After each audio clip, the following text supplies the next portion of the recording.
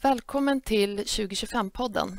Idag ska vi prata om uppföljningsrapporten för Vision ELSA 2025 och har därför bjudit hit Gustav Hedström som är utredare på E-hälsomyndigheten. Eh, välkommen Gustav. Ja, tack så mycket.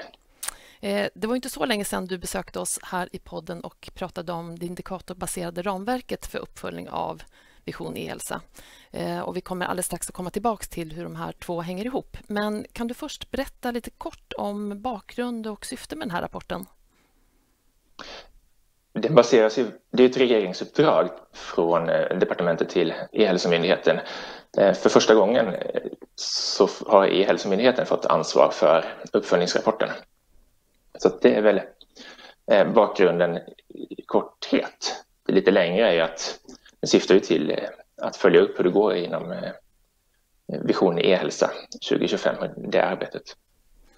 Just det, men som jag har förstått så har det här ändå varit en samverkan mellan organisationerna i styr och samverkansorganisationen att ta fram den här rapporten tillsammans. Eh, stämmer det? Ja, absolut. Eh, vi har haft kontakt med alla eh, de organisationer som ingår i styr och samverkansorganisationen. eller organisationen och ytterligare några, bland annat eh, Post och telestyrelsen och eh, Eh, Statistiska centralbyrån. Eh, men sen har det Rapporten har liksom tagits fram i en gemensam arbetsgrupp bestående av representanter från E-hälsomyndigheten, Socialstyrelsen, SKR, Inera och eh, Läkemedelsverket har varit med i del. Just det, och det är egentligen den här grupperingen till stort som jag förstått som har tagit fram tidigare års, års rapporter.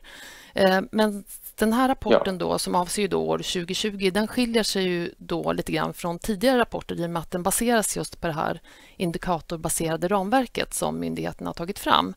Eh, kan du nämna lite grann hur, hur, hur ser man det om man har läst tidigare årsrapporter? Hur märker man att årets rapport sticker ut?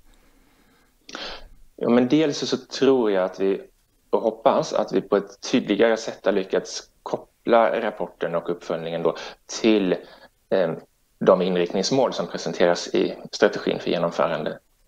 Ehm, och eh, sen så har också den här rapporten ett tydligare upplägg med eh, kvalitativa och semikvalitativa, äh, kvantitativa data. Förlåt. Innebär det då att man lättare kommer att kunna liksom följa utvecklingen från år till år så länge vi så att säga, jobbar med samma inriktningsmål? Ja, det är väl tanken. Eh, 2020 har ju som alla känner till varit ett väldigt speciellt år på grund av pandemin och eh, Många har ju fått ställa om inom vård och omsorg, socialtjänst och digitaliseringen har ju tagit ganska stora kliv, vilket ju på flera sätt har varit positivt. Eh, är det någonting som ni har hittat eh, under det här arbetet som har varit eh, lite anmärkningsvärt eller överraskande?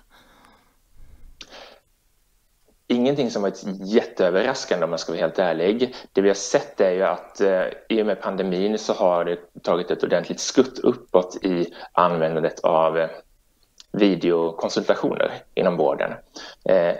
Och även användandet av Ineras, eller 1177, in, alltså inloggningarna på de e-tjänsterna har ökat markant under året. Ehm, och det ser vi både liksom i Sverige och sen så också när vi jämför med de övriga nordiska länderna så har inloggningarna på deras hälsoportaler ökat under året. Så även om Sverige fortfarande Svenska utnyttjar fortfarande sin hälsoportal i betydligt större utsträckning än vad de gör i de andra nordiska länderna. Så. Eh, du säger att Sverige använder sin hälsoportal i högre utsträckning. Ni påpekar just också i den här eh, rapporten att det är svårt med just de här jämförelserna för att det saknas jämförande indikatorer på, både inom Norden men även internationellt. Är det någonting som man arbetar mera på att få fram? Ja, eh, alltså vi arbetar nu för att försöka få till ett internationellt samarbete Eh, i, gällande att ta fram fler eller nya indikatorer som vi skulle kunna mäta då och följa mellan olika länder. Men det är ingenting som är etablerat eller färdigt på det sättet, det samarbetet ännu, utan eh, arbetet pågår just nu liksom att skapa ett sådant samarbete.